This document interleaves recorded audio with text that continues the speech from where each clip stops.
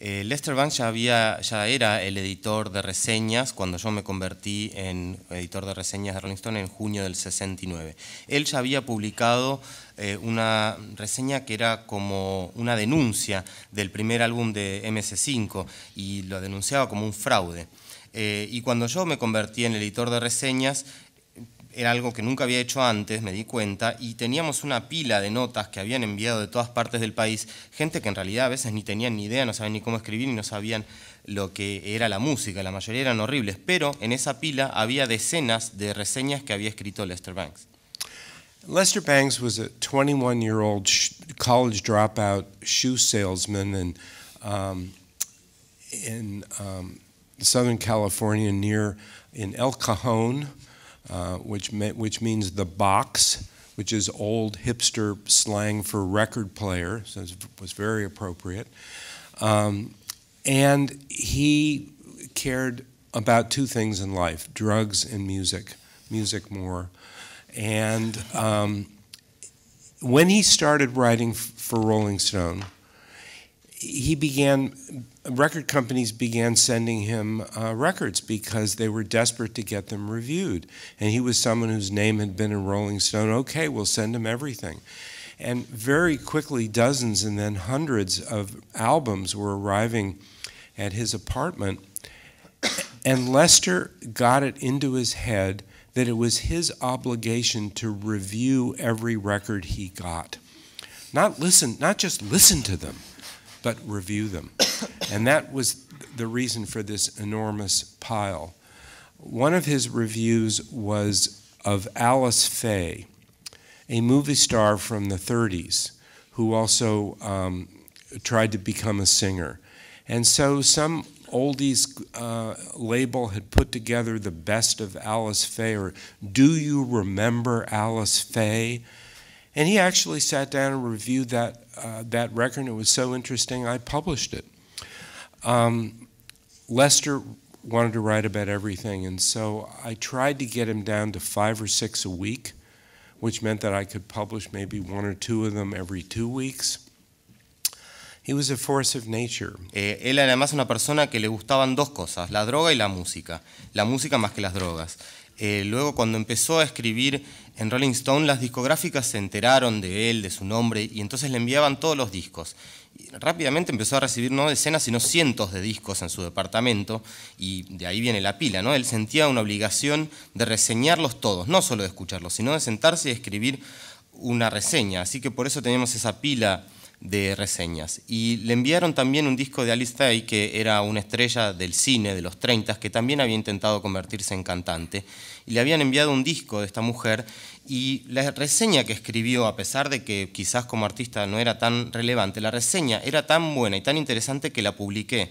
Él era como una especie de fuerza de la naturaleza, o sea, escribía, yo le pedí, le, tuve, lo tuve que contener para que me entregue solamente cinco a seis reseñas por semana y con suerte yo podía publicar una cada dos semanas. But, you know, Pablo has asked me to talk about Lester Bangs and his myth. You can't, one doesn't see a friend uh, as a myth, and one doesn't see one's friend's myth uh, surrounding him or her. It just doesn't happen. Uh, Lester was, was a person, and he was my editor, and I was his editor. Uh, and you know, you would argue about things, and you'd be disappointed or you'd be thrilled. Um, but it wasn't a question of myth. Lester, this wild man, Lester, this person who, who recognized no boundaries, who, who, who flouted all rules. Um, the Lester Bangs I knew was always um, a very polite and considerate person who didn't understand um, that there were other people in the world. Um, and so he barreled through it, but never with a sense of, I want to destroy this, or I want to insult this person, or anything like that. Lester Bangs had his own myths.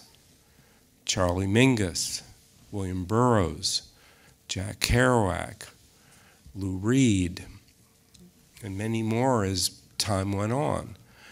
Uh, and these were people who um, he pursued, I think, in order to find out that there were real people behind the myths, and then those myths seem, ceased to exist.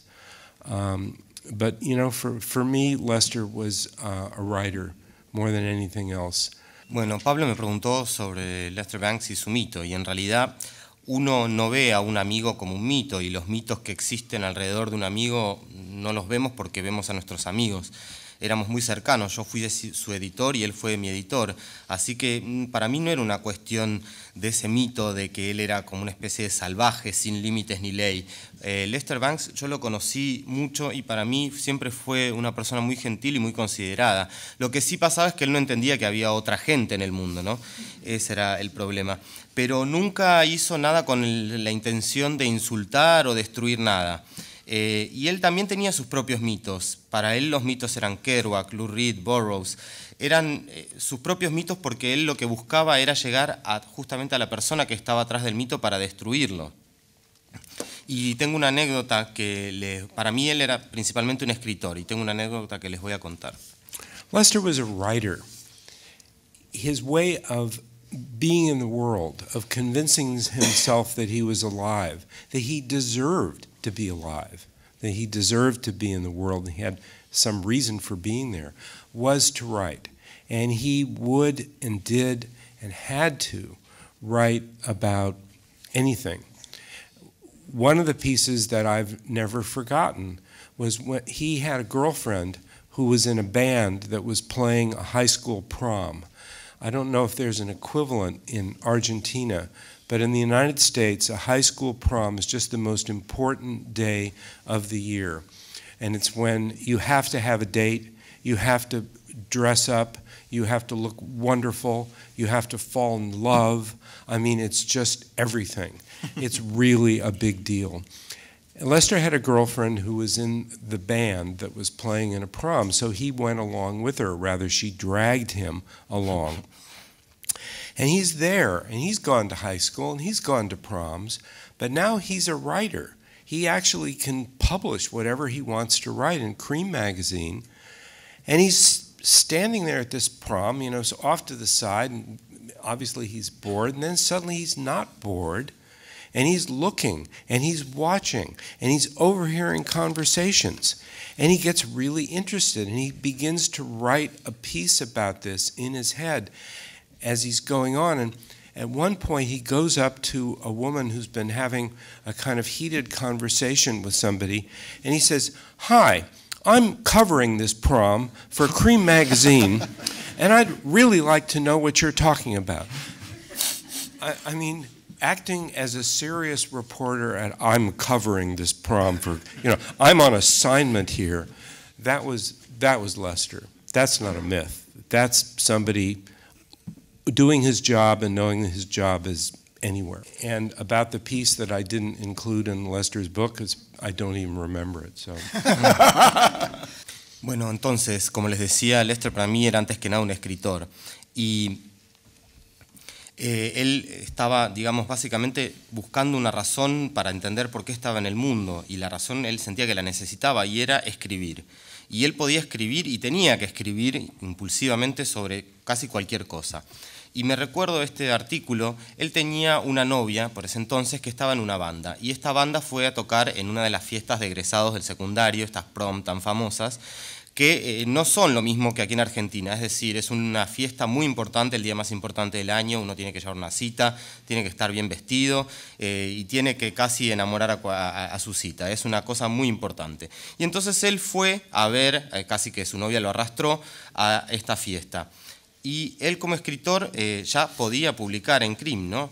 Entonces estaba primero aburrido en un costado de la fiesta y de repente empezó a interesarse por todo y empezó a escuchar y a percibir lo que pasaba y escribir incluso una reseña mentalmente.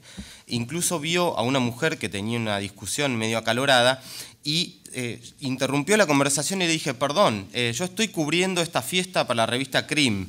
Eh, entonces es como esa sensación que transmitía de estoy en una misión. No es un mito, él realmente se tomaba su trabajo muy en serio y sabía que su trabajo estaba en cualquier parte.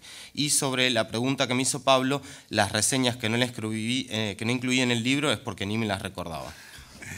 Em, el otro día cuando cuando conocí a, a Grail, se me ocurrió preguntarle una cosa que parece media tonta, pero que, que lo pensé en función a que fue una de las personas que es una de las personas que más escribe sobre Bob, Bob Dylan.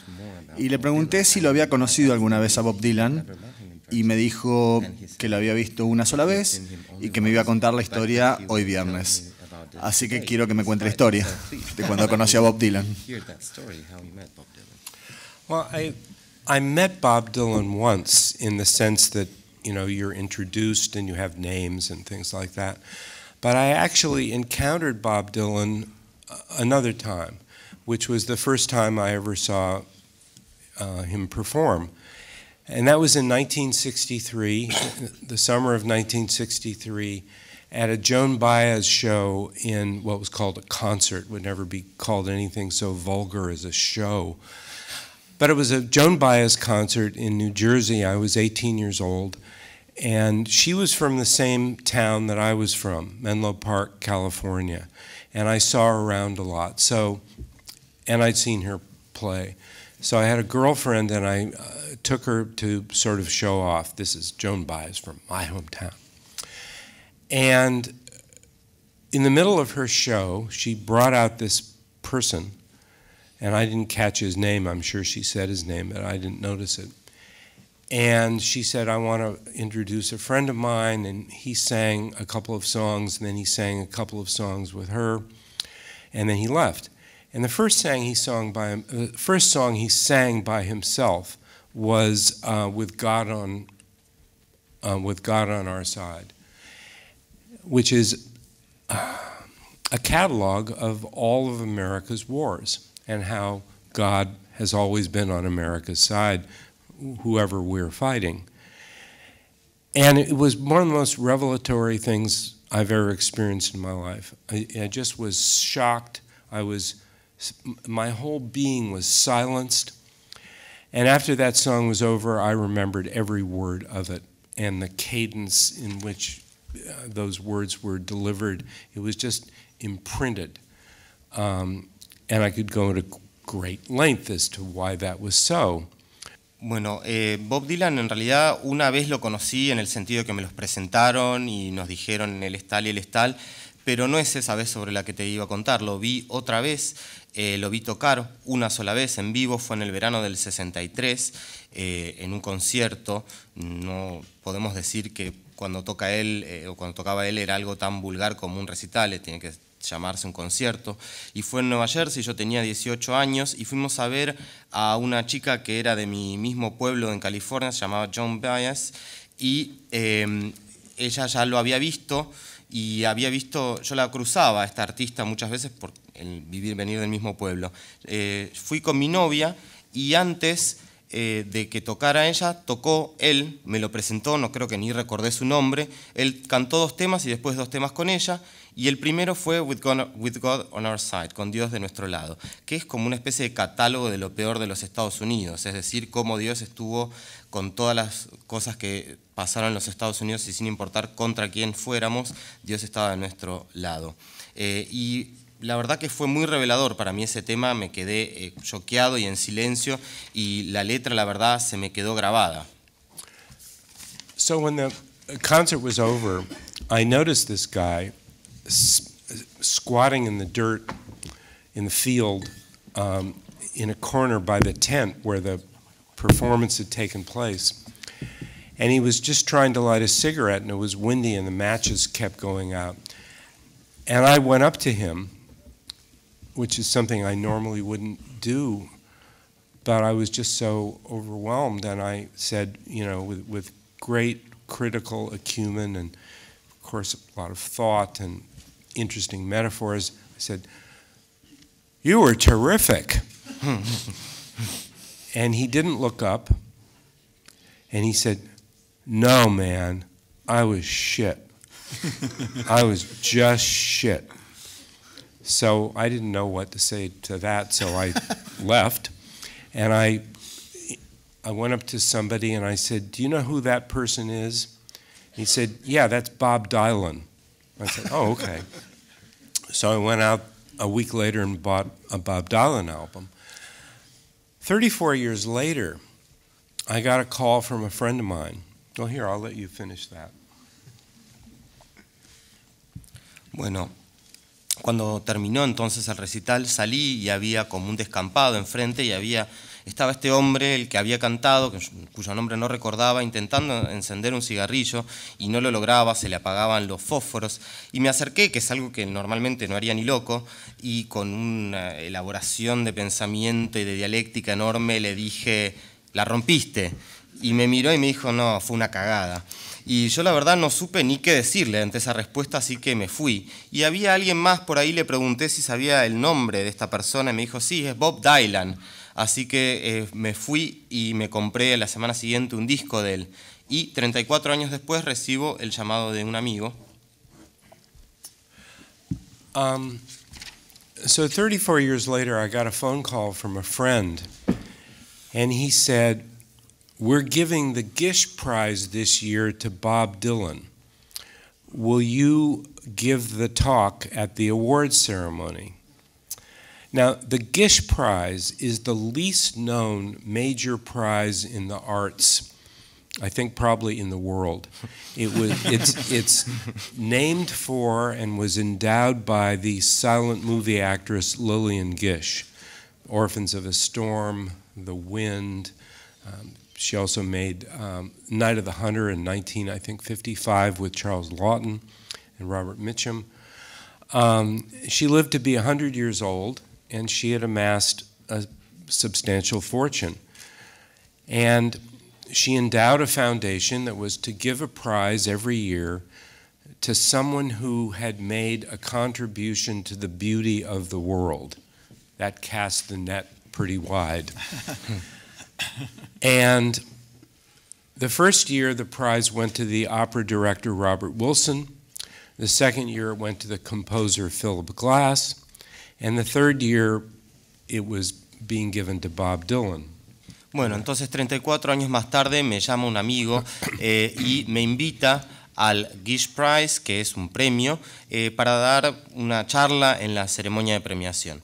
Bueno, el Gish Prize probablemente sea el premio menos conocido de todo el mundo de las artes. Es un premio que fundó Lillian Gish, una actriz de cine mudo, eh, hizo películas como The Wind o Orphans of the Storm, y llegó a vivir hasta 100 años, juntó bastante fortuna, y con esta fundación creó este premio, que era un premio que se debía otorgar anualmente a alguien que hubiera contribuido especialmente a la belleza del mundo. Bueno, una categoría bastante amplia, ¿no? El primer año se lo dieron al director de ópera Robert Wilson, el segundo año al compositor Philip Glass y el tercer año a Dylan. So I agreed to do it, and the reason I agreed to do it was because I knew it would be a chance to actually meet Bob Dylan. And the reason I knew that was because the Gish Prize, and this is why it is a major prize, was for, in those days, a quarter of a million dollars. And I knew that even Bob Dylan would show up to pick up a quarter of a million dollars. Um, so the night of the event took place, and it was really quite something. Uh, Richard Avedon, the photographer, was supposed to introduce Dylan and introduce me. And he had known Dylan for many, many years, going back to the 1960s. And when I got there, the room was already very crowded, and Richard Avedon rushed up to me, grabbed me around the shoulders, and said, Greil, I just don't know what I'm going to say. What was so remarkable about this, I'd never met Richard Avedon. He, he just leaped out of nowhere as if we were longtime friends and confidence and you know had relied on each other for years through all different kinds of crises. And anyway um, that threw me. And then there is bob dylan. And um, i was introduced to bob dylan and, we're, and, and we actually started talking. I had written a book that had come out that year called invisible republic which was about Bob Dylan's 1967 basement tapes recordings, his secret recordings with the band, when they were just fooling around, making up songs, singing other people's songs, and recording them on an old tape recorder. And some of them were then sent to other people to record, most of them went unheard for decades until they began to leak out on more and more bootlegs. So I'd written this book, and but the book was, as someone once described it, um, he says it's about the basement tapes, but it's really about Dock Boggs.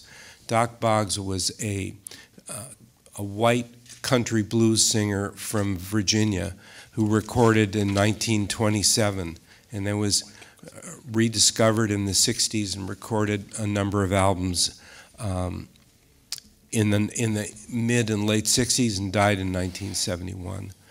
And he was a true hero of Bob Dylan, someone that Dylan always spoke of with awe. Anyway, I had heard that Dylan had liked this book, um, that he had read it. It meant a lot. Anyway, so we were talking, and I don't really remember what we were talking about, but it was pleasant, and it was, you know, two people who, at a great distance, a great sort of psychological distance, had been involved with each other for a long time. And so finally, the conversation kind of stopped, and, and Dylan did what you always do with a writer when you've run out of things to ask that person. He says, Well, um, what are you working on now? And I said, Well, you know, I don't really have a project. I just, you know, I just finished this book and, and uh, just came out a couple of months ago. And, and he said, well, why don't you write Invisible Republic Part 2? He said, You know, you only scratched the surface. and I knew that was true. I knew that was absolutely true. What he was saying was, This is the deepest story there is. This is a mind that has no end. Uh, you go into that, and if you're lucky, you come out with a story that's never been told before. Um, but you only scratched the surface. And to me, that meant that he had really read that book and he had understood that book. He'd understood, you know, maybe its successes and certainly its limitations. And that was the best um, response that any writer could have ever hoped for. That was 1997. That was the last time we ever had any occasion to speak to each other. Bueno, y entonces esa noche estábamos conversando con Dylan, la verdad que la conversación fluía, era bastante agradable. Eh, dos hombres que hablaban claramente con una gran distancia psicológica, ¿no? Y en un momento la conversación se detuvo, como que nos quedamos sin tema, y Dylan que hizo, hizo lo que se hace cuando estás con un escritor y te quedas sin preguntas, es, ¿y en qué estás trabajando ahora? Eh, yo le dije que no tenía un proyecto nuevo porque acababa de salir Invisible Republic hacía dos meses, y él se me quedó mirando y me dijo, bueno, en realidad deberías escribir Invisible Republic parte 2, porque la verdad que solo destapaste la superficie. Y la verdad que me di cuenta de que le había leído el libro, lo había leído con profundidad y lo había entendido. Es decir, esta historia era como una mina sin fin. Si seguía, lo que me estaba diciendo es que si seguís esa historia tenés una historia única. Realmente lo había leído el libro y había entendido no solo sus aciertos, sino principalmente sus errores. Eso fue en el 79 y fue la última oportunidad que tuvimos de conversar. I was told just an hour or so ago I was looking at the statue of Pope John Paul II outside of the library, and talk turned to Pope Francis, and you know I was told that in Argentina everybody will always remember where they were when they heard that he had become pope. And I don't really think that Bob Dylan's Nobel Prize that it will be the same for people all over the world that they will always remember where they were and what they were doing when they heard the news. But, you know, it was only um, not so long ago, so I still do remember. you, you, can go ahead. Bueno, eh, recién cuando veníamos caminando vimos la estatua que hay afuera acá de la biblioteca de Juan Pablo II y también enseguida empezamos a hablar del Papa Francisco y alguien me dijo hace poco que en Argentina todos se acordarían de dónde estaban y qué estaban haciendo cuando escucharon la noticia de que eh, el Papa era Francisco. Eh, yo creo que en un punto podría ser lo mismo con Dylan, pero la verdad no lo sé. Yo lo recuerdo la verdad porque no fue hace tanto. I had always thought that this campaign, which had been going on for years and years, you know, uh, by, by professors, by critics, uh, by all sorts of people uh, campaigning for Bob Dylan to be awarded the Nobel Prize in Literature was silly.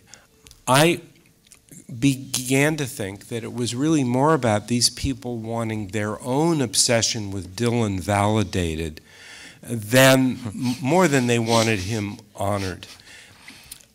And I always thought, actually, you know, thinking about it, Bob Dylan is a musician. He makes waves move in different ways.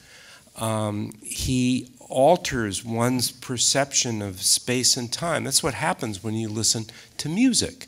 And something remarkable happens in a piece of music, and it, it just um, changes your sense of reality just a little bit. So to me, Bob Dylan or any musician, the prize that would be appropriate would be physics, not literature. But nobody seemed to agree with that. Para mí el premio Nobel siempre fue una cosa nunca entendí mucho esa campaña que hicieron tantos críticos y profesores, campaña año tras año por el premio Nobel. Me pareció siempre algo medio tonto. Eh, me pareció que era más eh, para ellos y para validar su obsesión con Dylan que para hacerle un reconocimiento a Dylan. Y además, si lo pensamos, él es músico, él era músico, él hacía eh, vibrar ondas que se movían y alteraban la percepción del espacio y del tiempo. You know, some people are embarrassed that they care so much about a song. Just a song that might have been written in five minutes and might have been recorded in half an hour. It's just not serious enough. So they want it to be poetry, they want it to be literature, they want it to be. I, I remember an essay uh, saying that music was really sculpture. Okay, fine, it's sculpture. Why not? It's jewelry. It's you know, it's hammers and nails. I mean, um, so I really was not interested in the, in this question. So that morning, my wife came in, and knowing exactly what she was doing, she said there's news about Bob Dylan, knowing that I would immediately think he died. and she said he won the Nobel Prize. And I had a reaction I never would have expected. I was really happy. I just felt good. I thought that was great. and I was happy for him. Um, and I could go on, but that, that's enough. That's That was my reaction. A la gente, la verdad, eh, le, lo que me parece es que le da vergüenza que les importe tanto, tanto una canción que quizás fue escrita en cinco minutos y grabada en media hora. Ellos querían realmente que fuera literatura, que fuera algo elevado. Hay gente que dice la música es escultura. Y yo digo, ¿por qué escultura y no joyería o martillos y clavos? Eh, en realidad no me interesaba tanto. Y me acuerdo que ese día, cuando salió la noticia, llegó mi mujer a la mañana y me dice, hay una noticia sobre Dylan, sabiendo que yo inmediatamente iba a pensar, ¡Ah! se murió. Eh, pero enseguida me dijo lo del premio Nobel y la reacción contra todo lo que yo esperaba que me iba a pasar fue de alegrarme, de alegrarme por él.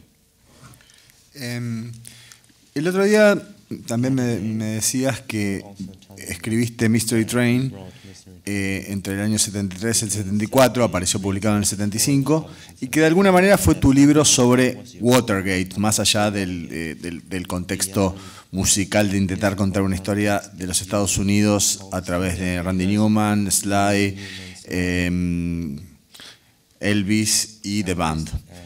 De alguna manera, Lipstick Traces es tu libro sobre la época Reagan, teniendo en cuenta el punk, el dadaísmo, el situacionismo y todo lo que analizas ahí. Yes, the answer is yes, it is. But it wasn't meant to be, it wasn't self consciously that. It was only when I guess I had finished the book that I understood part of the, the motives behind it. It was an obsessive project. when I started that book, I had no idea. Uh, if, if anyone had told me what it would turn into, I, I would have had no idea what they were talking about. It would have made no sense to me at all. And what was supposed to be a simple little book ended up um, an obsessive quest that took nine years to finish much longer than I will ever spend on a book again. um, and it was only when it was done and I realized what it was, what it was about, what it was tr- trying to say, where it was trying to go, that yes, it had been, you know, I have Ronald Reagan to thank for that book. La respuesta corta es sí, era así. Pero no fue a propósito o conscientemente, fue algo que únicamente lo entendí cuando lo terminé. Cuando lo empecé, si alguien me decía sobre qué iba a tratar el libro, le iba a decir, no entiendo de qué cazo me estás hablando. Eh, pero terminó siendo una especie de búsqueda obsesiva que duró nueve años, un tiempo que nunca más le voy a dedicar a otro libro, eh, sobre algo que quería escribir y la verdad que medio sin idea de a dónde quería ir. Así que ese libro se lo tengo que agradecer a Reagan. He had been governor of California for eight years. I'm a Californian. I knew who Ronald Reagan was. I knew he was a vicious, cruel, monstrous character and a very, very serious man, a serious politician, and an effective politician. And I knew that the act that he played as president, kind of an amiable know nothing with good intentions, was just that, just an act that behind it was a serious project to transform America into us versus them, and people who belong and people who don't, and people who count and people who are worthless. That's what Ronald Reagan was about, and that's where the country was going under him as president. La verdad que yo lo odiaba a Reagan. Había sido gobernador de California, el estado donde yo nací, durante ocho años, así yo sabía perfectamente quién era. Era un monstruo, era cruel, era un político infecto. Y el acto, la actuación, ese personaje que actuaba cuando era presidente de como una especie de tonto inocente, era solamente una fachada para un proyecto muy en serio tenía atrás de transformar los Estados Unidos en una cosa dicotómica, nosotros contra ellos, los que valen y los que no valen nada. In, in some ways, Lipstick Traces, a book really about the European avant garde, starts with the Sex Pistols, it ends with the Sex Pistols, then there's 400 pages of strange artistic characters and medieval heretics and God knows what else in the middle. Um, and it's a book about un American concepts. The whole concept of the avant garde is the um, epitome, is the opposite of democracy. It, these were strange ideas, strange impulses. It didn't make any sense to me, and yet I was attracted to them. And I realized at the end that that book was a failure of nerve, that I couldn't face America. I couldn't think about America. I couldn't look at it. So I had to leave. I had to leave the country and go live somewhere else. I didn't really do that, but in terms of the work I was doing, what I was thinking about, the people who became um, uh, my familiars, to use a word that both means friend, ghost, and enemy, the people I was writing about, um, I left the country and I was gone for nine years. And I didn't really come back as a writer until Bill Clinton was elected president.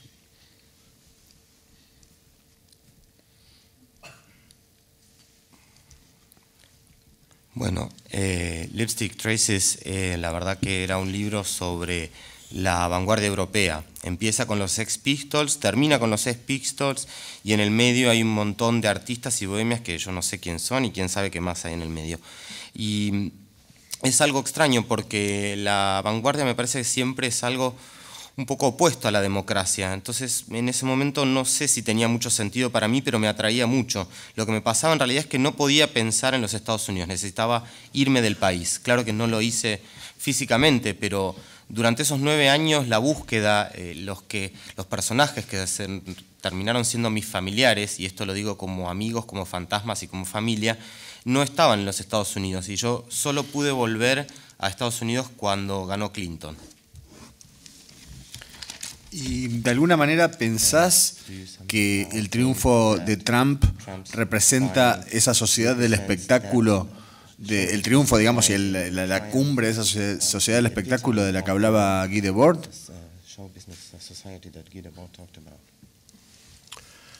No, I don't.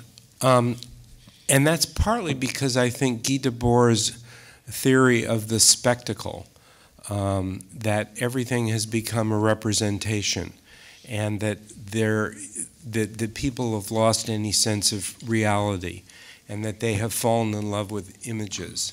I, I, I think that's the least interesting part of Guy Debord's um, thinking. And Guy was a great writer. He was a master of aphorisms. And, um, you know, it was almost like he, he, he would have written great punk songs, just short little verses, short little bursts of, of words together that, that just came across with tremendous force. That's how he wrote. And so he's able to give ideas that may be kind of shallow, a tremendous sense of, of glamour and, and, and portent and, and profundity that they actually don't have as ideas. Uh, Guy Debord was a great critic. He could cut to the heart of falsehood um, like nobody. But I don't think the idea that society is a spectacle is a very rich idea that tells us very much. So, in that sense, I don't really, I, I don't think that's what Trump is about. But even if it were, I didn't, I wouldn't think that would be what he was really about. Um, and I could say more about this, but I'll let you go ahead. Okay. Eh, no, la verdad que no me parece. En primer lugar, porque la teoría del espectáculo, eh, en la que todo se convirtió en representación y la gente perdió un contacto por la realidad y todo son imágenes, me parece que es la parte menos interesante del pensamiento de Debord. Debord para mí era un gran escritor, un maestro de los aforismos. Las cosas que escribía a veces parecían pequeños hits del punk, canciones eh, con mucha fuerza ideas que quedan grabadas, que tienen como un glamour y una profundidad, que en realidad no tienen como idea, pero sí como escritura. Eh, él me parecía así que era un gran crítico, pero la idea de la sociedad como un espectáculo no creo que sea una idea genial ni que nos diga mucho, la verdad. Y en el sentido de Trump me parece que no es lo mismo, que no es eso, y si fuera eso, bueno, ahora os voy a decir más sobre esto. There are a thousand reasons maybe far more than that, why Donald Trump is president of the United States. And some of them are reasons of happenstance and circumstance, and some of them are reasons of great depth that go back centuries. Um, before the United States was founded in 1787, America had always pulled in different, two different directions.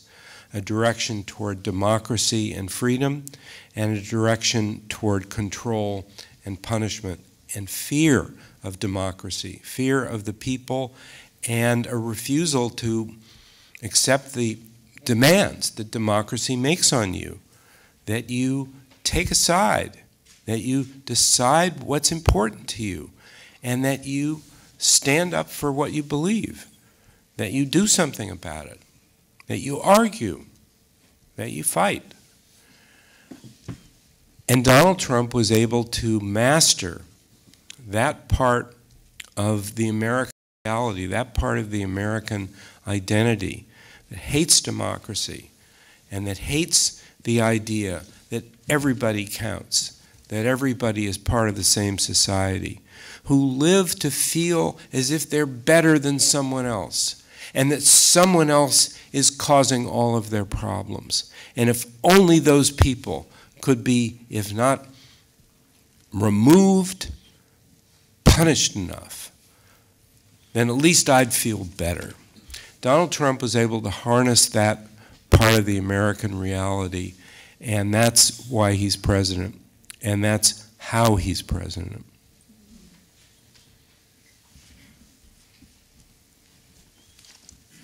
Eh, hay miles de razones por las cuales Trump es presidente. Algunas son más circunstanciales y otras tienen siglos de historia. Antes de la creación de los Estados Unidos en 1787 había en América dos direcciones en las cuales las fuerzas tiraban. Una era la de la democracia y la libertad y la otra la del control, la del miedo y la del castigo. perdón, el miedo era el rechazo a las demandas de la democracia, es decir, la democracia te pide que elijas, que elijas un lado, que defiendas tus ideas, que discutas, que pelees. Y Trump lo que hizo fue mm, básicamente dominar muy bien esa parte oscura de la identidad de los Estados Unidos, es decir, lograr abrazar esta idea de él, odia la democracia y odia la idea de que todos sean parte de la misma sociedad, de que haya una sociedad igualitaria. Solo los otros pueden tener la culpa, pueden ser acusados y solo los problemas solo se pueden resolver eh, eliminando a los otros o castigándolos de una forma muy fuerte para sentirme yo mejor. Eh, eso es lo que hizo él. Y como te pregunto como, como ciudadano estadounidense, que, ¿Por qué pensás que los, medios eh, se equivocaron tanto y no, no, supieron ver que Donald Trump iba a llegar a ser presidente de Estados Unidos y decían que iba a ganar Hillary Clinton? Well, I think there's a very simple answer to that, and that is because whatever it was, seven days before the election, 10 days before the election, James Comey, the head of the FBI, announced that Hillary Clinton was again under investigation um, for this nonsensical business about her emails. That's why Donald Trump is president. That's the proximate, you know, if not that, this reason. The other reason the media, so, so the answer is the media didn't have it all wrong, and the pollsters didn't have it all wrong, but they had it partly wrong. Bueno, la respuesta para mí es muy simple. Lo que sucedió fue que siete o diez días antes de las elecciones, el ex jefe del FBI, el señor Comey, anunció que Hillary Clinton estaba investigada por este caso, no sé si recuerdan, de sus emails. Esa es más o menos la razón, si no es esa, es otra. Eh, y la verdad que los medios y los encuestadores no estaban tan equivocados. It was clear going back at least three or four years that something was really off.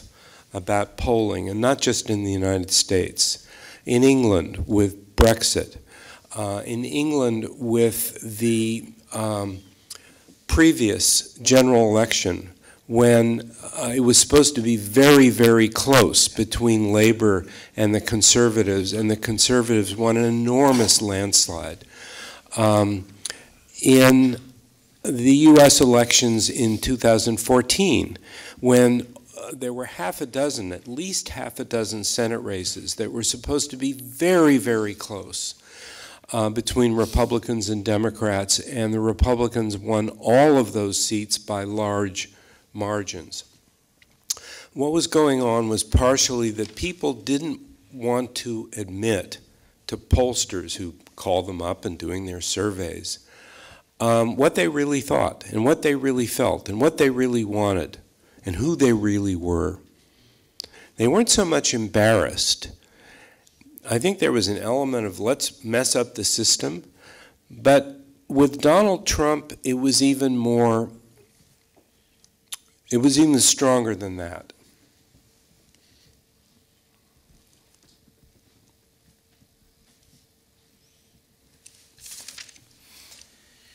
Estaba claro tres o cuatro años antes ya de la elección que lo puso a Trump en la presidencia que había algo que estaba funcionando mal con las encuestas. No solo en los Estados Unidos, recuerden en Gran Bretaña con la cuestión del Brexit, que parecía que era imposible y luego la ganaron. La elección también anterior en el Reino Unido, que parecía que era, iba a ser muy pareja entre conservadores y liberales, y los conservadores la ganaron por mayoría abrumadora. Lo mismo sucedió en el 2014 en Estados Unidos, en la elección legislativa. Parecía que para el Senado republicanos y demócratas iban a estar muy cerca, pero los republicanos ganaron otra vez por amplia mayoría.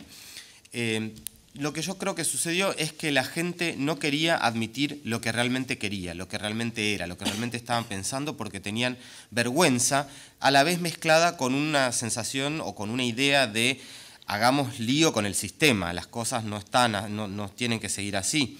Eh, Y lo que pasó con Trump fue un poco más fuerte todavía.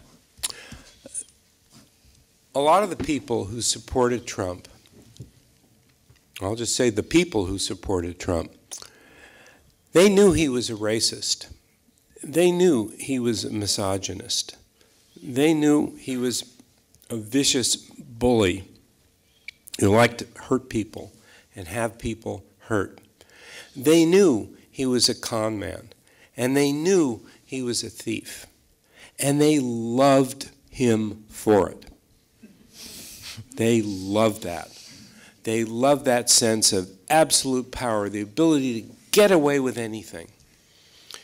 That's the life I think a lot of people said, maybe not even honestly and openly to themselves. That's what I'd like to be like. And no, I haven't got a billion dollars. And no, I'm never really going to be able to get away with and break any law I choose and never have to face any consequences. But if I show up at one of those rallies or I just cast my vote for somebody like that, I can be a little bit like that. Now, people are not, people, you know, are not going to admit that to pollsters. They're not going to explain that in detailed interviews. They're not even necessarily going to want to admit it to themselves. And so when they get called up and they're asked, who are you supporting and maybe why? They say, well, I don't know, or I'm supporting Hillary, or so on and so forth. I always felt that because of that, because there were so many people who were embarrassed that they were supporting Donald Trump, that they liked Donald Trump, that you had to you had to figure that Donald Trump was three to four points higher in the polls than the polls said he was. That Hillary had to leave had to leave by five points to win. And for much of that, um, much of the fall, she was. But it was scary. Um, and I don't think, and I think I was right about that. And Bill Clinton argued that over and over again throughout the campaign, and Hillary's campaign managers ignored him and said, We know how to do the math. He said, It's not about math, it's about people. And he was right.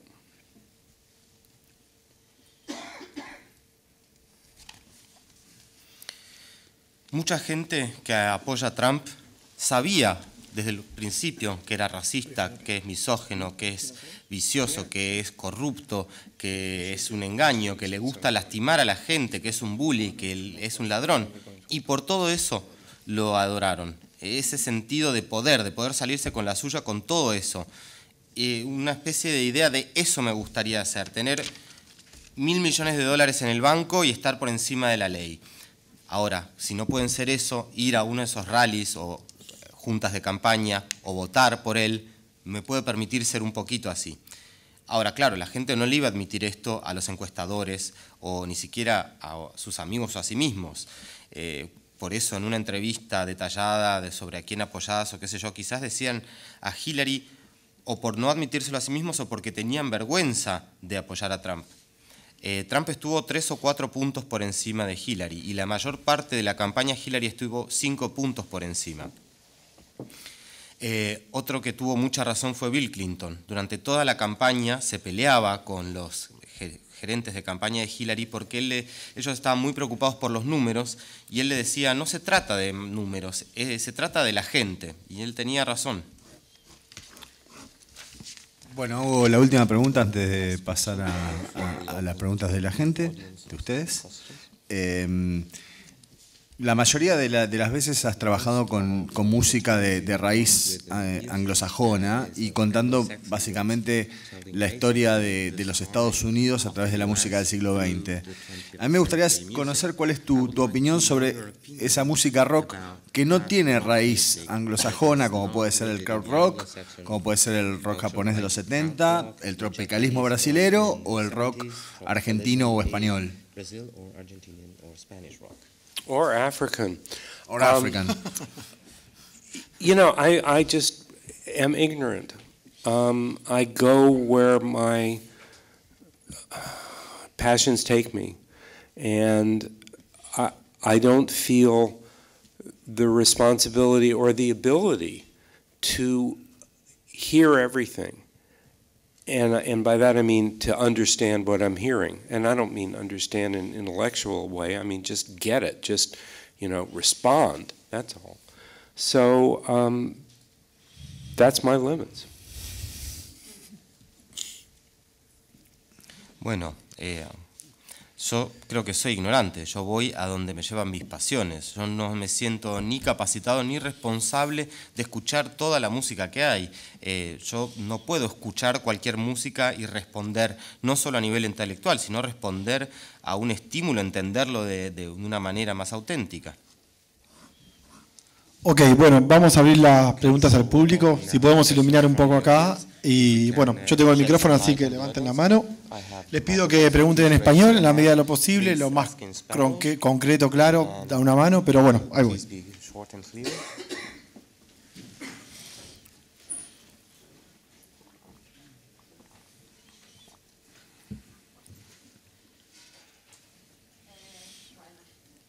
Está apagado. No, está apagado.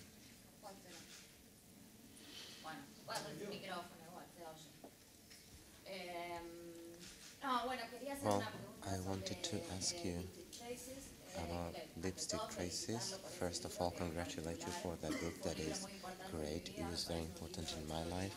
I thought it, it was an extraordinary book, honestly.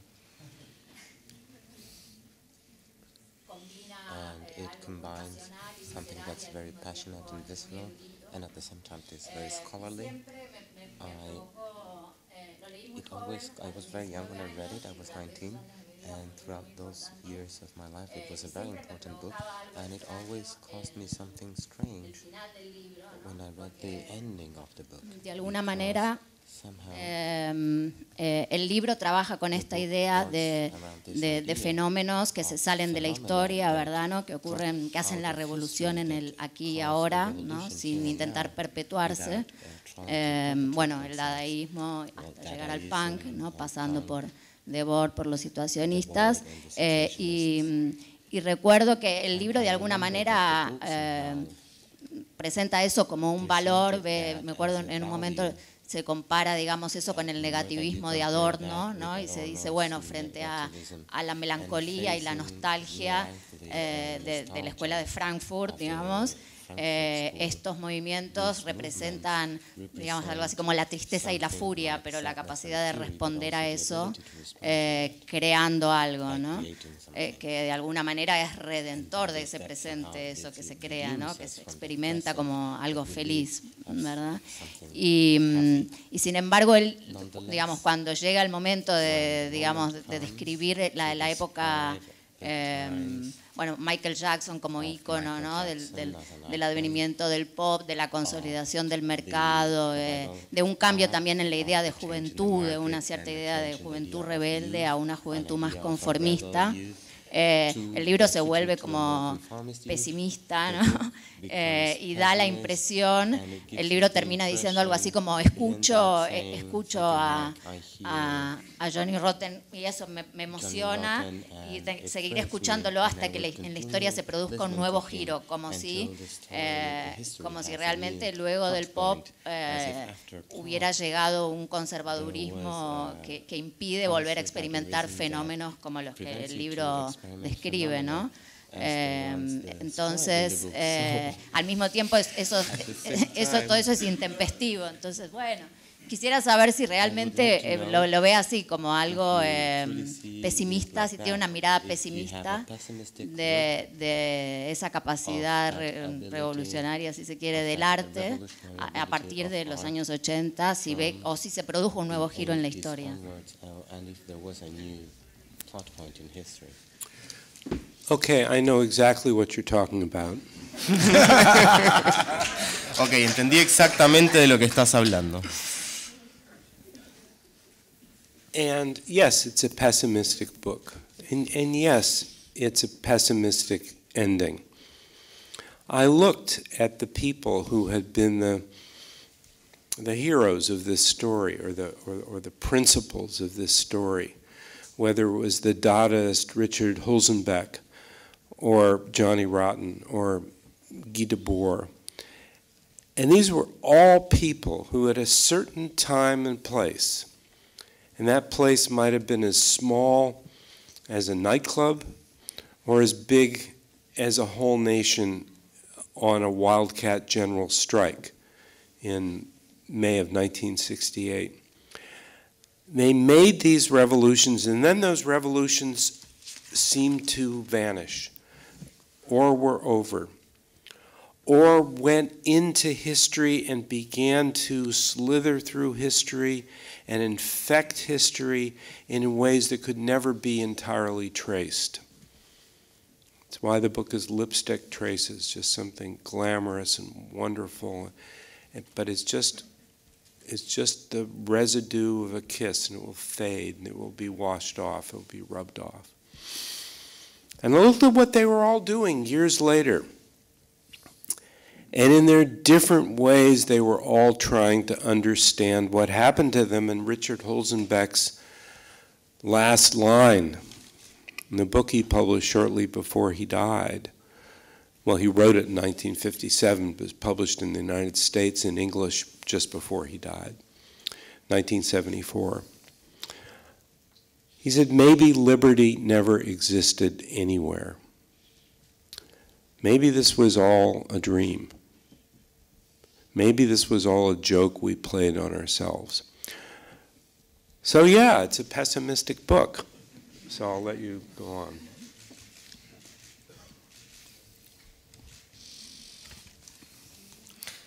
Sí, es un libro pesimista y es un final pesimista.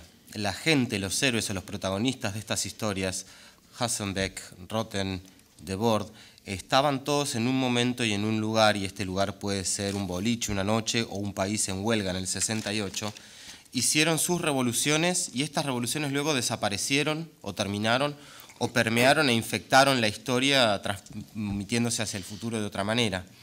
Eh, pero por eso el nombre del libro, ¿no? Eh, rastros de lápiz labial. De Carmín. De Carmín es la, la, traducción. Eh, por eso es como un rastro de un beso que está destinado a desaparecer. Lo que hicieron años después eh, los protagonistas. Pensá, por ejemplo, en la última línea de Hassenbeck. El libro lo escribió en el 57, en los Estados Unidos fue publicado en el 74, junto, justo antes de que él muriera. Quizás la libertad nunca existió, nunca en ningún lado. Quizás esto fue todo un chiste. Es pesimista. One thing I learned writing that book and following the stories of all different sorts of people is that when you are part of a transformative experience that you help make in whatever small or large way that might be, you will, you will have to pay a price for that. And that price is that you will always find what follows disappointing and inadequate and incomplete. That sense of transformation will be something you will always be looking for and will likely never find again, but it will never leave you, so it will torture you. And when I say in the last sentence of the book, that every punk record, every good punk record can still sound like the greatest thing you ever heard. And when it doesn't sound that way anymore, that will mean that this story that I'm trying to tell will have taken its next turn. Because that energy of transformation, that, that, that way in which all these little records were manifestos, people put everything into and believed. And that sense of desperation and belief and self, and, and people suddenly discovering they have a voice, and not only do they have a voice, they actually have something they want to say with it. That's the energy in those records. And I'm saying that when this long serpentine story takes its next turn, there will be another it may not be music, and it may not be art, it may be God knows what. But there will be another energy of transformation that's out there in the world that people will respond to, and maybe these good punk records that sound like the greatest thing you ever heard will go into history. For me, that hasn't happened. They still sound like the greatest thing you ever heard. dos preguntas. Una, en Europa me, eh, me encontré con la situación de que las emisoras de música ya ponían en todos los negocios donde estaba música y las emisoras que habían puestas, ocho de cada diez canciones era rock británico, rock americano. Incluso en lugares donde hay buen rock, Alemania, Francia, lugares como esos, y eh, España, pregunté por cuál era la razón. Me dijeron que la razón era porque para nadie es un secreto que el rock es el, mejor transmisor de, energía que hay que se ha inventado hasta ahora para lidiar con el, con el día cotidiano. Eh, quería saber si es de esa opinión, si hay algo que a futuro puede eh, darnos más energía que el rock y la otra es más política, la otra pregunta es más política, más social, tampoco la traía preparada, pero viendo el compromiso con la verdad y con la libertad de expresión del señor Gray, me atrevo a hacerla sin... Puede sonar más ofensiva desde la, de la intención que lleva en sí. Eh, gobierna la cocaína y las drogas el mundo de la música o la música. gobierna el mundo de la cocaína y, las drogas, viéndolo desde un punto de vista eh, que hay mucha afinidad con ciertas cosas que se dan en la música y el nuevo narcocapitalismo que surge. Yeah, well, those are two different questions. Um, with the first question about people in Europe only hearing British and American rock and roll. I haven't made a scientific survey in the 10 days that I've been in uh, Argentina on this visit, but I was kind of stunned that the coffee place that we go to every morning in uh, Palermo Viejo only plays um, mostly British music from 1966. And there is rarely anybody there um, who was born when the music that's playing was made. They seem to be reacting to it just fine without that. Um, yesterday I was in a cab and the driver who was, I, I, don't even remember what he looked like or what his age was, um, had a playlist going. It was all John Lennon. And it was really interesting to hear these songs come together because you just could not escape the, the pain and depression and, and sense of, of need and helplessness bleeding through song after song after song. It was really powerful. Um, question of whether or not rock and roll is, and I'll, I'll let you go ahead with okay. Bueno, son dos preguntas distintas, entonces vamos con la primera. La verdad que no hice una investigación exhaustiva de por qué la gente en Europa escucha rock británico o americano. Eh, y en los 10 días que estuve aquí en Argentina sí me llamó la atención eh, dos o tres cosas. Por ejemplo, todos los días vamos a desayunar un café en Palermo Viejo y toda la música que ponen ahí es rock británico o música británica del 66. Y nadie de los que va a ese café parece, me parece que hubiera nacido cuando se hizo esa música. Igual responden igual de bien a esa música. Y por otro lado, el taxista que me llevó ayer tenía una playlist que era todo John Lennon y no podía dejar de pensar en todo el dolor y la depresión y la sangre que transmite con esa música. The question of rock and roll as a transmitter of energy. I wrote a book called The History of Rock and Roll in 10 Songs.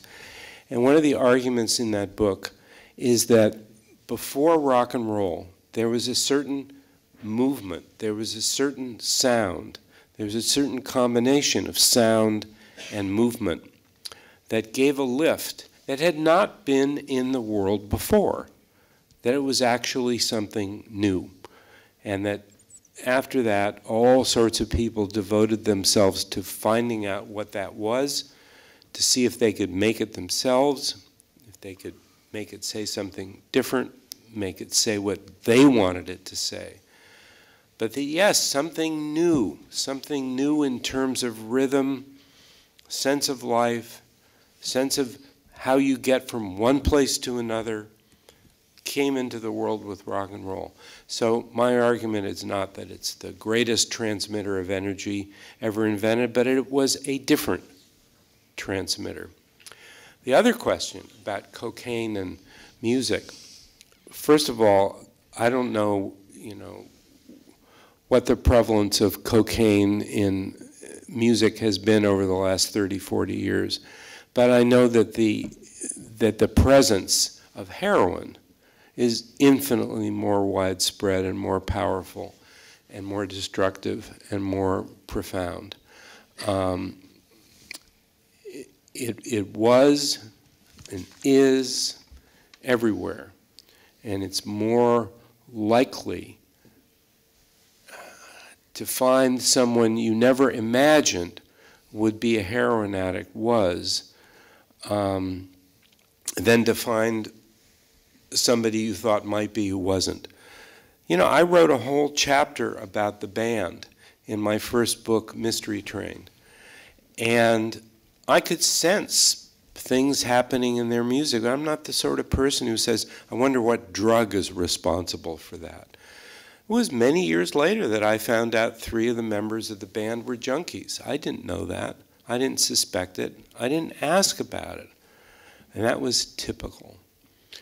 What the effect of that is, is not very complicated. After a certain period of time, people stop doing creative work and they die young.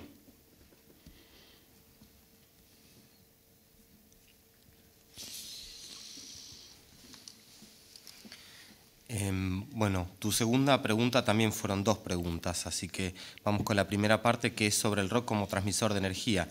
yo escribí un libro que se llama La historia del rock and roll en 10 canciones y uno de mis postulados en ese libro es que antes del rock and roll ya había un sonido y un movimiento y una combinación de sonido y movimiento que era algo nuevo que no había estado en el mundo anteriormente y que todos se eh, fascinaban, por eso se dedicaban y querían eh, ver si podían hacerlo y decir algo nuevo.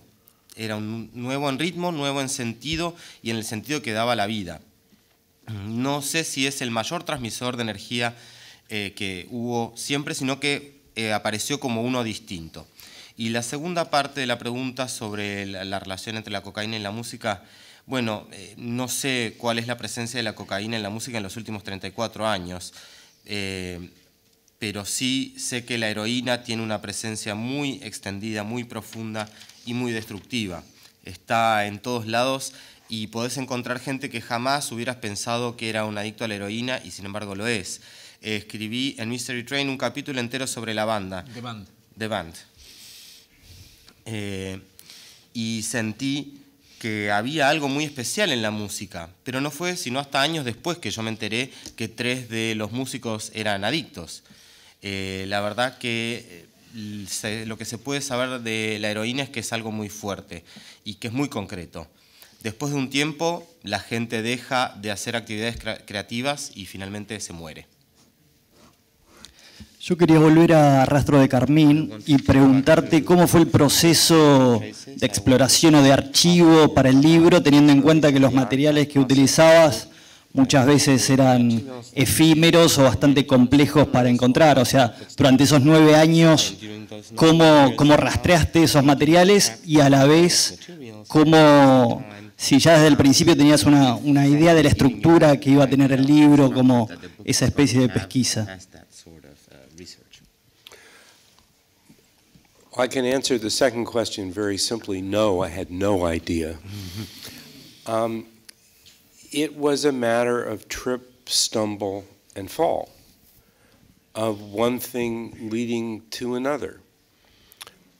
I always had the sense that punk was like May 68 in Paris. I didn't know why, I didn't really even think about it. But they reminded me of each other. Maybe it was the slogans. Maybe it was the, the way banners and posters looked. I don't know. But I just, it just did. So I read a book. I started reading books about May 68 in France. And I read a book called May 68 and Film Culture by a woman named Sylvia Harvey. And there were references in it, just a few, to a book called The Society of the Spectacle by someone named Guy Debord, and a book called The Revolution of Everyday Life, or a treatise on living for the young generation um, by someone named Raoul Vaneigem. I'd never heard of either of them or heard of either of the book books, but I looked them up in the footnotes because the quotations just sounded really interesting. And over time, I was able to find bootleg English translations of those books and read them. And I read Society of the Spectacle on a plane trip to Europe in somewhere around 1980 or 81. And I'm reading this book and I'm listening to punk songs. I'm saying the whole punk critique is right here in page after page after page. How did this happen? What's this about?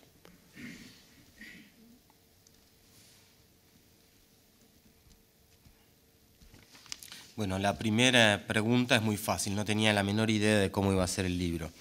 Y lo otro fue una cuestión de encontrar, tropezar, caer y que una cosa fue llevando a la otra. Siempre tuve la idea que unía, una idea que unía el punk con el mayo del 68, el mayo francés.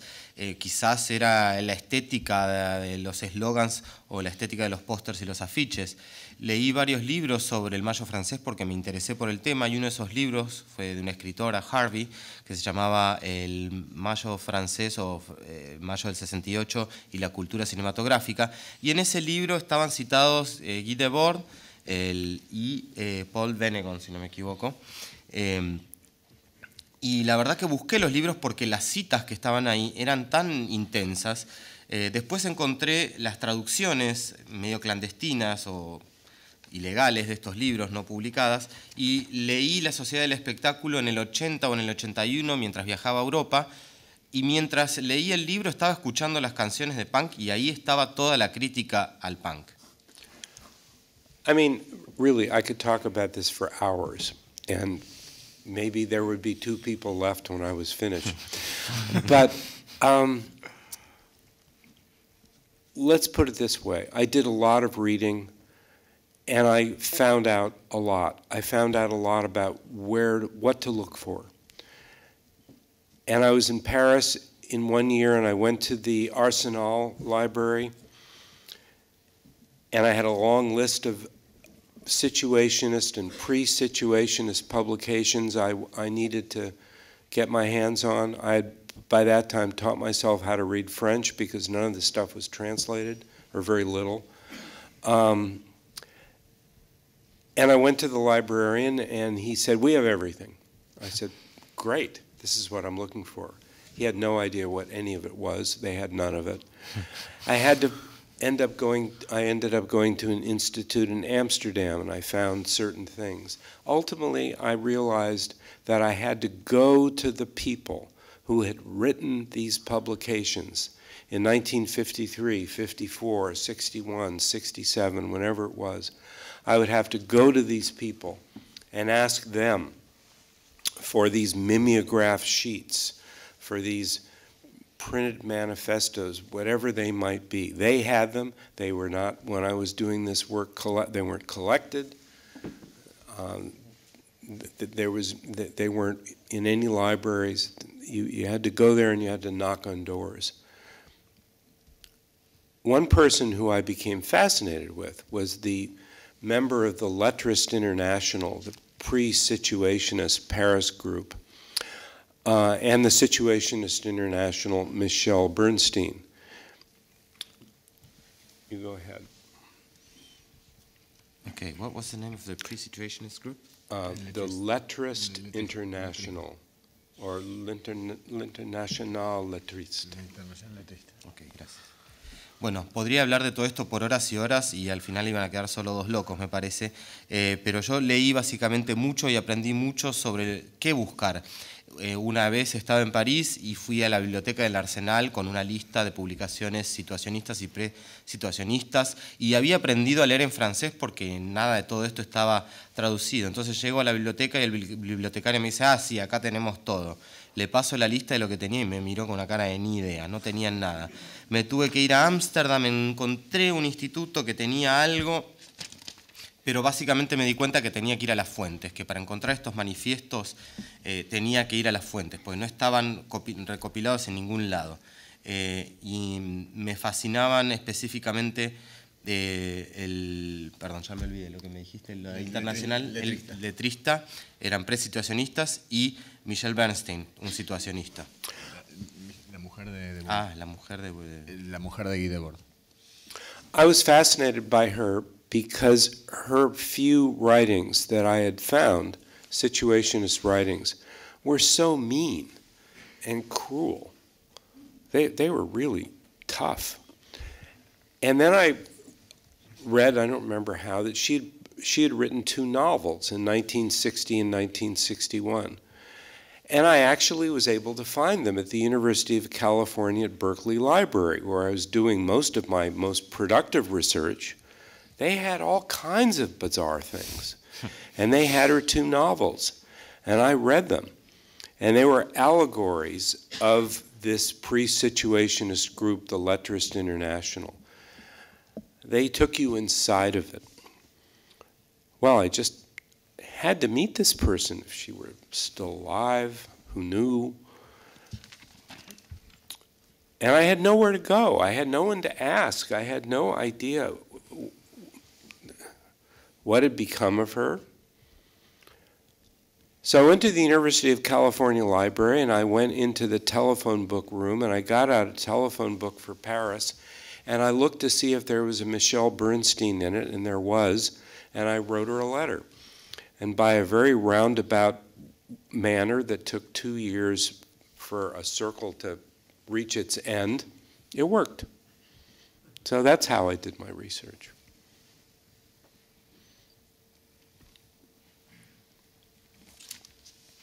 Eh, bueno, entonces me fasciné con eh, esta escritora, Michelle, que me enteré que había, eh, perdón, que era una escritora muy cruel, malvada, era muy dura. Y mm, a medida que leía me fascinaba lo que encontraba y me enteré luego que había escrito dos novelas, una en el 60 y una en el 61. y fui a dar con ellas en la Universidad de Berkeley, donde yo estaba trabajando, hice mucho trabajo productivo, ahí tenían de todo cosas bizarras, y estas dos novelas eran alegorías de justamente la internacional letrista. Así que dije, a esta mujer yo la tengo que conocer, tengo que encontrarla. No tenía ni la más remota idea de qué había sido de ella ni de cómo llegar, así que empecé yendo ahí mismo en la biblioteca a una lista telefónica que había de París a ver si había una Michelle Bernstein. Y ahí estaba una Michelle Bernstein, le escribí una carta y bueno, fue un círculo que tardó dos años en cerrarse pero así hice mi investigación.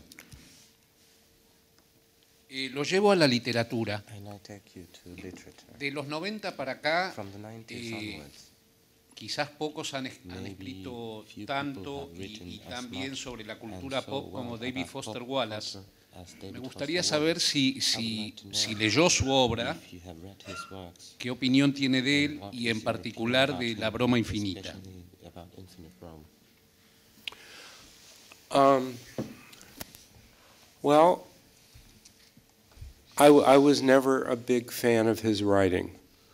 Um, I reviewed his first book when I was doing book reviews for a California magazine, and I thought there were some interesting things in it, but ultimately it was very contrived.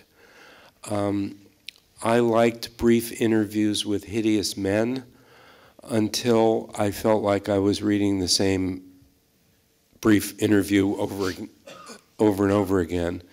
Um, I never got anywhere into Infinite Jest. Um, so I'm sure there's far more there than I ever got. But he was never um, part of my ima imaginary universe.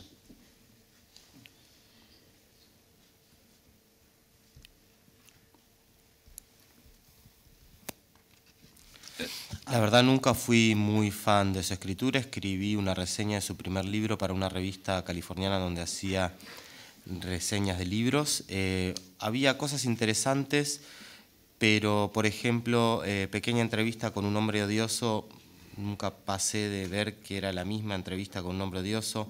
Después Infinite Jest, creo que no llegué ni a la mitad. Seguro que hay más de lo que yo capté, pero nunca estuvo muy en mi imaginario, muy presente. Eh, quería preguntarle, él escribió mucho sobre discos, discos concretos que, bueno, lo llevaban a investigaciones o a hablar de otras situaciones. Quería eh, preguntarle si en la situación actual, o sea, ¿qué opina del disco como formato? Si para él este, sigue revistiendo mucha, mucha importancia, si tiene relación con, si el formato tiene relación con la música que contiene o si no le da demasiada importancia a las transformaciones que, pueda sufrir el formato que alberga la música. You know, I don't really think about that question, but I certainly know that most albums today, when I play them, will end up with one or two songs on them that seem interesting and worth listening to again, and most of the rest will not. Pretty much what it was like before the Beatles. Um, whether the album, you know, is, is still just a useful idea, I don't know. Um, I find the albums on YouTube pretty fascinating. Uh, fans make up YouTube albums and they put them on YouTube as albums. And some of these are just unbelievably good and they are rich and it's song after song or performance after performance and you just you, you say how can this be and that's because an obsessive loving fan went through the, the work of a particular performer, a group, maybe a genre, maybe a year, and put together an album where every piece on it spoke to every other. Now, that's how people once tried to make albums. Now, fans do that work. Um, the one I'm, I most love that I've come across was called um, something like Moby Grape Historic Live Recordings 1967 1969. Pretty basic nuts and bolts title. And that's what it is it's live performances, and they just get better and bigger and more subtle and more explosive. And it's a band, a San Francisco band from 1967 that never got the appreciation it deserved, I thought. I've always been a fan. And what I loved most about this album, which I played many times, um, was the comment, the you know, by one of the YouTube listeners down in the comment section, and it just said, "Did the devil loan you his record collection?" Because that's how good it was. It had to come from the devil.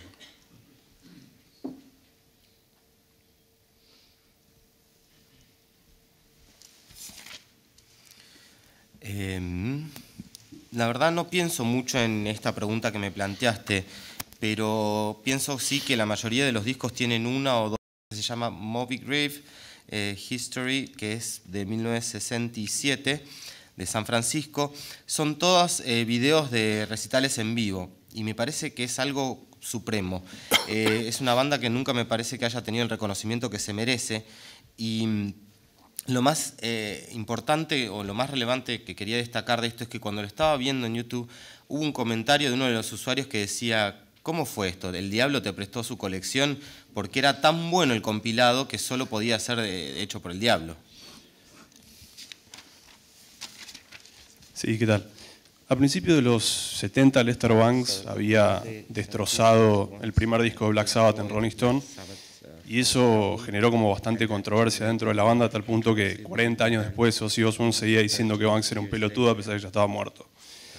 Y, bueno, entonces mi pregunta a, a Marcus es saber si ellos eran conscientes en ese momento del poder que tenían como críticos de rock y cómo ve la crítica de rock y del disco ahora en la actualidad, que de repente con Spotify, con YouTube, uno puede acceder al disco mucho más rápido sin tener que pasar por la crítica.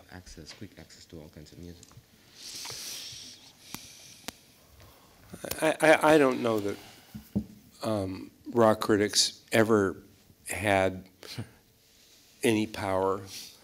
Um, certainly, I don't think they ever should have had any power. I, I remember seeing a band, maybe it was around 1978 or 79, something like that. Um, a band called the Modern Lovers from Cambridge, Massachusetts, playing in Berkeley. And I was sitting at a table with an, another rock critic from New York City. And he turned to me and he said, Modern Lovers were an unknown band at that time. They hadn't recorded. He said to me, We could make this band. And I thought that was the dumbest thing I'd ever heard. I mean, it, it wasn't true. And how awful would that be if it were true? Um, so I don't know about that critics ever had any power. As, as, as far as today, it's not a question of power. It's a question of whether you have um, forums or outlets to do interesting writing and say things that hadn't been said before, to be honest, honest with yourself and honest with your readers who may, who may be totally imaginary. Um, the outlets for that kind of writing are um, not what they used to be. And every, wherever you go, articles are shorter, visuals are, visuals are bigger. So I, I don't know the answers to any of those questions. And I, I really, you know, as a writer, I try not to think about them. And, um, and, and write as well as I can. La verdad, no sé si en algún momento los críticos de rock tuvieron algún poder, en todo caso nunca deberían haberlo tenido. En 1978, en el 79, estaba eh, viendo una banda que se llamaba Modern Lovers, eran de Massachusetts, y estaba en la mesa sentado con otro crítico de rock que era de Nueva York, y me dice, la banda era todavía medio nueva y desconocida, podríamos inventar esta banda nosotros, ¿no? Me pareció una cosa tan estúpida, porque primero, era verdad, tendría que ser así. Es decir, no me parece que sea una cuestión de poder, sino que es una cuestión de los foros o las salidas, donde uno, los lugares donde uno puede escribir cosas honestas, interesantes, inteligentes, dialogando con tus lectores, que a veces pueden ser imaginarios, eh, y todo cambió tanto. Si vos ves en todos lados, los artículos son más cortos y las partes visuales son más grandes. Eh, yo creo que eh, como crítico hay que escribir bien y trato de escribir lo mejor que puedo. Quería preguntarte si qué opinión tenés en verdad sobre otros libros que se escribieron sobre el tema, principalmente England Streaming, pero también, por ejemplo, Please Kill Me, si crees que de alguna manera se articulan con Lipstick, eh, con Rastro de Carmín. As I said before, Lipstick Traces was a um, an adventure and it was an ordeal and I lived within the imaginary construct of that book all the time that I was writing it. And to find any book or record or person or anything that that seemed to me to have affinities with what I had spent so much of my life doing was an instant revelation. And I found that um, in two books, Peter Sloterdijk, his book uh, Critique of Cynical Reason, which I think came out in maybe 1987, and Camille Paglia's Sexual Personae, which came out in uh, 1990, I think. And I thought these, we're doing the same kind of work. We're asking the same kinds of questions in you know very different ways. And when I read Please Kill Me, which is a wonderful book, it's just so brilliantly done, and there's so many marvelous characters. Maybe they just appear once and say one thing, and maybe they just sort of move all through the book. Um, I, you know, I, I found myself brought into a world that had never really the world of New York punk, um, you know, from the from the earlier mid '70s on. uh, including many characters who I never had any interest in at all. But um, a world that never spoke to me in its music was now really alive and fascinating in the lives of the people involved. But no, I didn't feel an, an affinity there. I just felt lucky that that book um, uh, existed. Rastros de Carmín eh, fue una aventura y una odisea y viví eh, día a día con las limitaciones imaginarias que me traía ese libro. Cuando encontré libros que tenían o que yo sentía que tenían afinidades como el mío fue como una revelación instantánea. Por ejemplo, me pasó con Slodejik, eh, la crítica de la lógica... Uy, perdón, me perdí acá. No pasa nada, la última. Bueno. Y eh, Persona Sexual, otro libro del 90, me pasó que eh, era el mismo trabajo que yo estaba haciendo, se estaban haciendo las mismas preguntas de distintas formas. Con Please Kill Me me pasó que pareció que tenía personajes maravillosos que quizás aparecen una vez y dicen una frase y me, realmente me llevó al mundo del comienzo del punk eh, a mediados de los 70 en Nueva York y me hizo encontrarme con personajes que antes no me habían parecido para nada interesantes. Eh, lo que sí no sentí una afinidad o, con, entre estos libros, simplemente es un libro que me gustó que existiera y me gustó haberlo leído y como esta fue la última pregunta, quería agradecer a Juan Manuel y a Pablo, al traductor y a la gente de la biblioteca y obviamente al fantástico público que tuve hoy.